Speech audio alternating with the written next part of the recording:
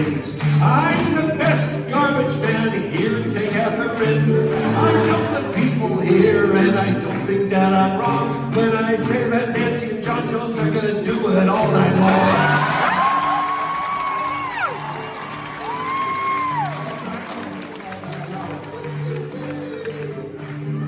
Twenty-one days in Canada, we've had lots of fun. Nice to be in a place where nobody's got a gun. Unruly. But I gotta say, Niagara on the Lake has a bunch of fucking skunks.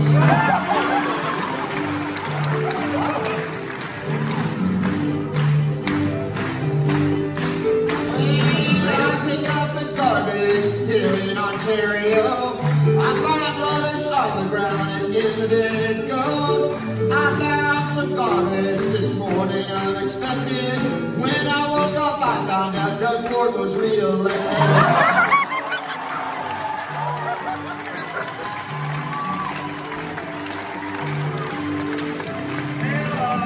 Take out the garbage, I take out the trash, and I'm very grateful for all of that cash. I'm grateful for every stinking dollar that I earn. I'm sad to say I take out trash in Port Colborne.